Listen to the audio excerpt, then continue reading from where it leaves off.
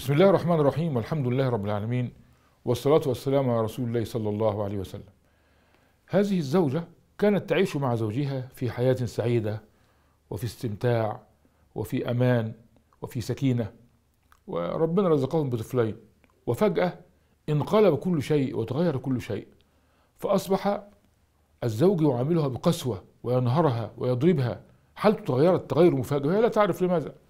وكلما تكلمت معه زجرها ونهرها وضربها. وهي كانت إنسانة صالحة كانت تتوجه الله سبحانه وتعالى بالدعاء والاستغفار ولكن لا لم تحل المشكلة. وذات مرة تكلمت مع صديقة لها فقالت ربما يكون هذا مسحور أو تعرض لسحر. فقالت لها عليك بصلاة الليل والدعاء وسورة البقرة. اقرأي سورة البقرة كثيرا لأنه كما قال النبي صلى الله عليه وسلم إن الشيطان ينفر من البيت الذي تقرأ فيه سورة البقرة. استمرت على ذلك وللأسف المشكلة لم تحل. وذات مرة كانت تجلس مع أخواتها وأبيها وأمها بعد أن ضربها ونهرها وزجرها وخرج من البيت في حالة صعبة جدا الحقيقة. فجلسوا مجلس جميل كده يقرؤون القرآن ويتلون كتاب الله. والحقيقة طبعا المجالس لما تجتمع عن القرآن بتكون فعاليتها أكتر.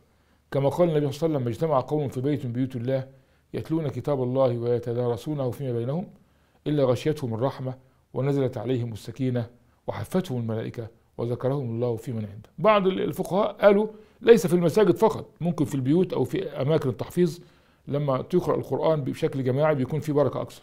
فبينما هم يقرؤون استمعوا صوتا غريبا وانفجار شديد هم تصوروا أن انفجار حدث بالمطبخ ذهبوا إلى المطبخ فلم يجدوا شيء.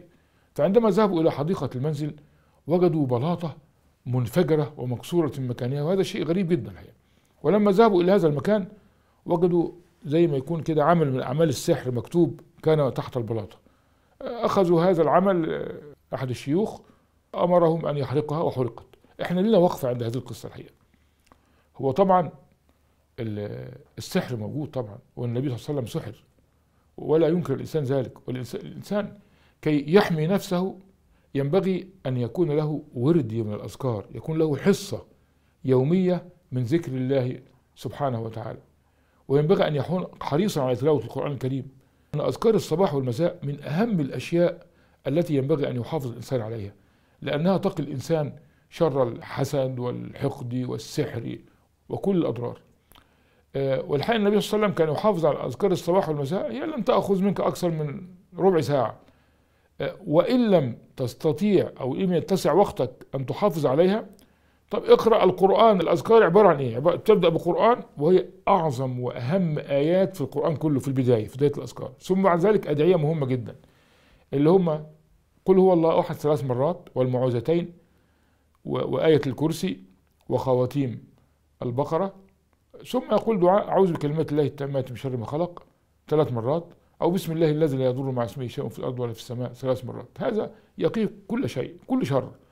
وكان النبي صلى الله عليه وسلم اسمع بقى ده النبي الحبيب محمد صلى الله عليه وسلم الذي حفظه الله برعايته وكرمه وأمنه وأمانه كان النبي صلى الله عليه وسلم يتعوذ من الجاني وعين الإنسان حتى نزل قل أعوذ برب الفلق وقل أعوذ برب الناس فكان يتعوذ بهما دون غيرهما.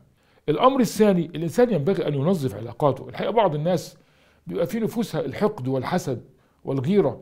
وبيتمنى زوال الخير للناس بأي طريقة فيذهبوا إلى السحر وإلى أي ضرر. وهذا الإنسان لازم يكون لبيب إن هو يحسن علاقاته مع الناس. هذه الفئة المريضة نفسيا الحقيقة أضرارها ومشاكلها كتير والإنسان لابد أن يكون عنده فراسة في تخير الصداقة. فبعض الناس بيتمنوا زوال الخير للناس بتلاقي ذلك في ملامح وشه في ردود أفعاله في تصرفاته في سلوكياته. وتجد أنه من خصائصه أنه دائما غير راضي. يبقى الإنسان يحسن اختياره لأصدقائه أو الفئة المحيطة به.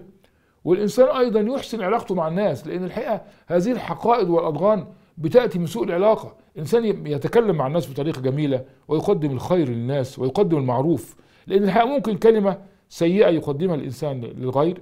فتؤدي إلى حقد وإلى ضغينة. فالإنسان لما يقدم الخير للناس ويختار الصحبة الصالحة ويكون محافظا على أذكار الصباح والمساء وتلاوة القرآن والتقرب لله والبعد عن المعاصي مسألة في غاية الخطورة. لأن المعاصي والعياذ بالله بتكون منبت للشيطان ونماء للشيطان. كل ذلك يقي الإنسان شر الحسد والشر إن شاء الله.